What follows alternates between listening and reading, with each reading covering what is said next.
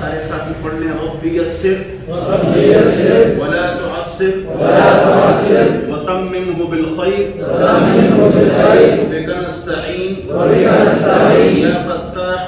या फत्ताह। या करीम। या करीम। या अलीम। या अलीम।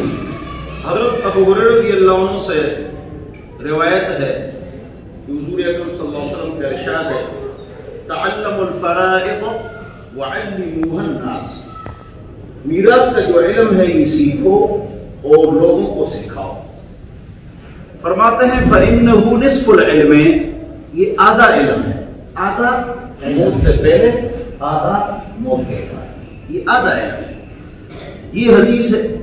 हुजूर अकरम सल्लल्लाहु अलैहि वसल्लम व अन्नहु युनसा, या सयुनसा अन करीब कि इस इल्म को भुला दिया जाएगा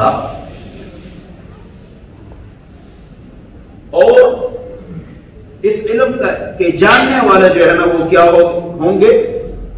कम हो। वह हुआ अव्वल और सबसे पहले क़यामत की निशानियाँ तीन चार सौ हैं। और क़यामत उसके फ़ौरन बाद है, वो निशानियाँ दस दस निशानियों से पहले एक निशानी है। और निशानी क्या है, वह हुआ अव्वल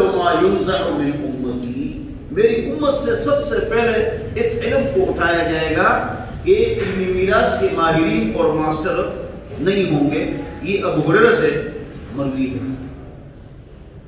और इब्न मसऊद रज़ी अल्लाह से इस तरह मरवी है कि, तअल्लमुल फराइद वअल्लिमुहन नास, फइन्नी मक़बूदुन बस बेशक मुझे उठाया जाएगा।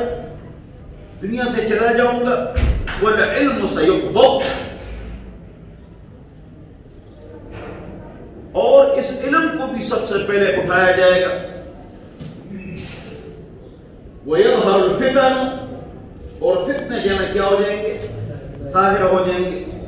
हत्ता यख्तलिफ इस्नानी फ़ी फरीदा।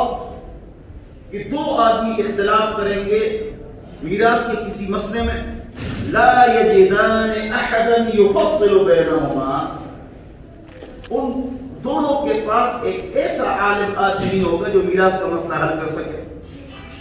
लिहाजा इस इल्म को आपने सीखना है और आज मेरी इजलास है।